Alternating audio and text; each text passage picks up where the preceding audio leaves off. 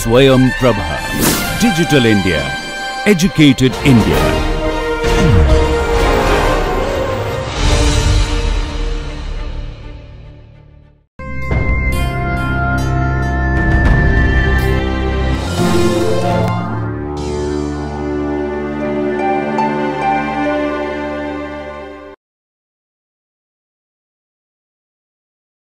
In this lecture, I'm going to talk about quotient groups.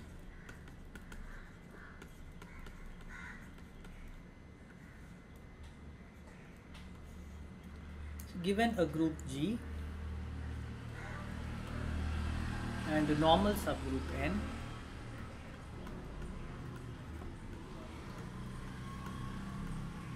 we've seen that the left cosets and right cosets of N are the same. That is the left uh, the right cosets and the left cosets these are really the same. Because if you take a left coset uh, well if you take a right coset nx then this is the same as uh, x times x inverse nx but x inverse nx is equal to n so this is equal to xn because this part is just equal to n so every left coset is a right coset and vice versa. Now we can define in such cases a binary operation on G mod n. Now it doesn't matter whether I'm talking about left or right cosets. Define a binary operation on G mod n as follows so it doesn't matter whether I write left or right cosets. So I'll just write left cosets here.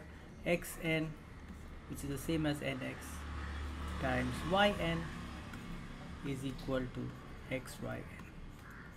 Okay, it's not enough to just write this down. I need to make sure that this is well defined. So the coset xn, uh, this x is not uniquely determined. I can replace x by any other element of this coset and the right hand side should not change. So let's check that this is well defined. So if I take um,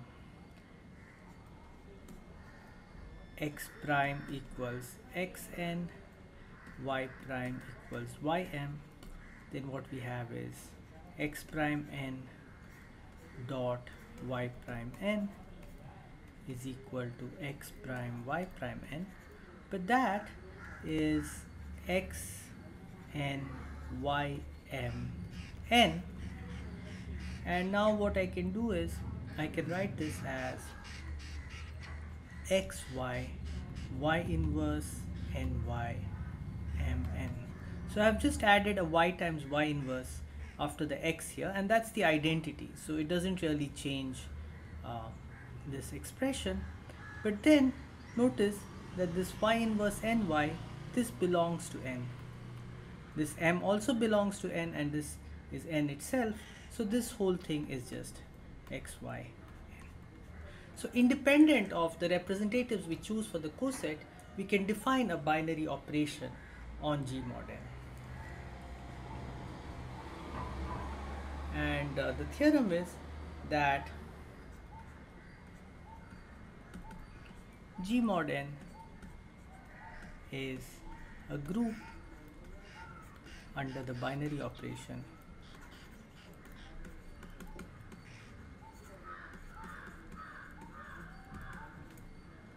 xn yn equals xyn. So we've already checked that this operation is well defined and it's not difficult to show that it inherits all the axioms for a group from the group G itself. So associativity. Um, for example, in identity, let's just check the identity. So I claim that the identity of G mod n, so now I'm thinking of this as a group, is uh, just the coset of the identity, that is identity times n. And um, this is easy to see just from the definition. And the inverse of xn is x inverse. This again is easy to verify. Now for some examples of quotient groups.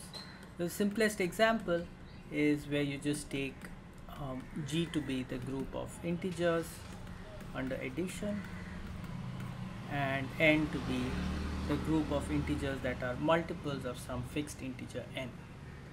This n is a subgroup and since G is an abelian group, every subgroup is automatically a normal subgroup.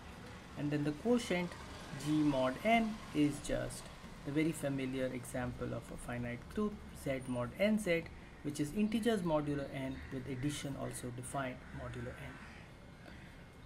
For a slightly more interesting uh, i.e. Uh, non-abelian example, let's look at uh, G to be the dihedral group Dn. Recall that this is the group of automorphisms of the regular n-gon. Well, we think of it as a cycle graph, but we usually draw it as a regular n-gon. So this will have um, n nodes and n edges arranged in a circle or you know, in the vertices of a regular n-gon. And this group has two distinguished elements which we identified earlier S and R. So this S um, is an element of order 2. It's a reflection about the axis that passes through 1 and the center of the regular n-gon. And this R is an element which is a rotation by an angle of 2 pi i by n. And they have this relation S R to the i S inverse, but S inverse is equal to S, so I'll just write S is R to the power n minus i. So this relation holds in Dn.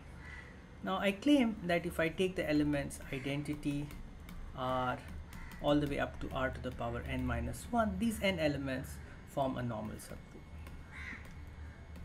It's obviously a subgroup because they're just powers of R, this is R to the power 0 and uh, if I multiply two powers of R I again get a power of R. So this is isomorphic to the group Z mod nz and so I need to check normality.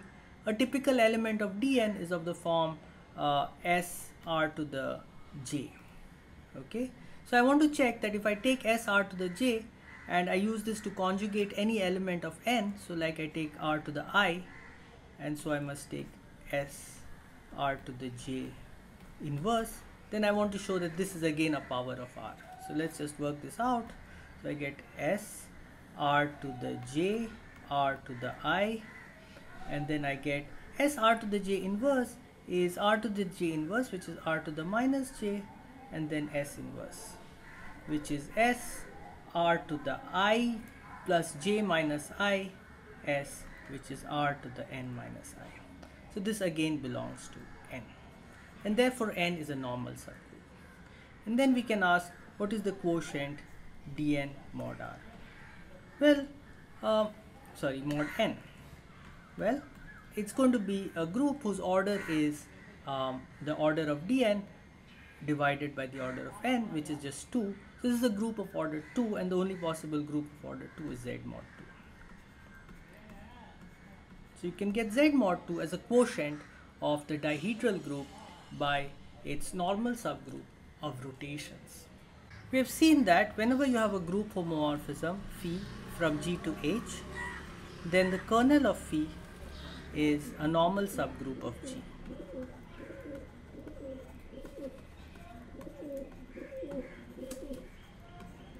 Now, with the definition of quotient groups, we are in a position to say that every normal subgroup arises as the kernel of some group homomorphism.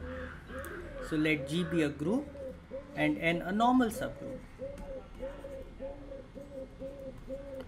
Then uh, consider the group homomorphism from G to G mod n, the quotient group defined by uh, phi of x for every x in G to be just the coset xn.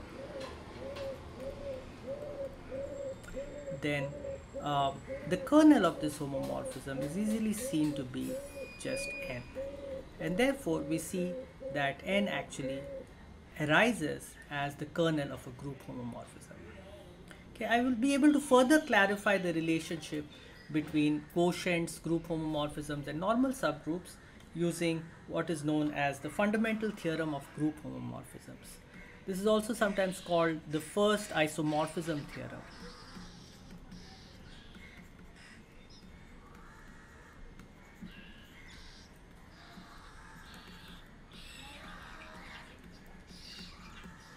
So what this theorem says is that suppose you have a group G and a homomorphism phi from G to another group H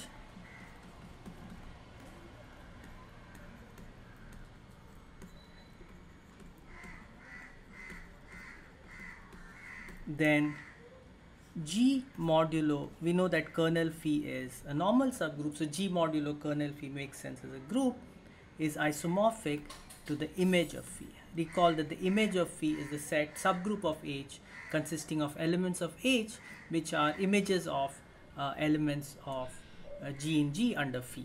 So this is just phi G, G belongs to G. Okay, so that's the image of phi and the proof is not at all difficult it rests on our earlier observation that if you take all those elements g in g such that phi g is phi g0 for some g0 in g then this is the coset of g0 the kernel of phi so we saw this when we were uh, looking at homomorphisms and their kernels and so now you define phi bar, we'll define an isomorphism here. So we already have a homomorphism from G to H. To define phi bar as follows. Phi bar from G mod kernel phi to image phi as follows. You define phi bar of x times kernel phi to be equal to phi of x for all x in G. now this is clearly well defined because we've seen that uh, the elements that map to phi of x are going to be precisely the elements of uh, in the coset of x under kernel phi. And it's also injective because if uh, phi bar x kernel phi, if phi bar x kernel phi is equal to phi bar y kernel phi, then this means that phi x is equal to phi y which means that uh, x is in the y coset of kernel phi and y is in the x coset of kernel phi. They are the same uh, coset of kernel phi. So this map is injective and this map is clearly surjective because any element in the image of phi will be in the image of phi bar just by the definition of phi bar and all we need to check is that this map is a group homomorphism but that again is completely clear from the definition of the group structure on G mod kernel phi. So this is the isomorphism phi bar from G mod kernel phi to image of phi.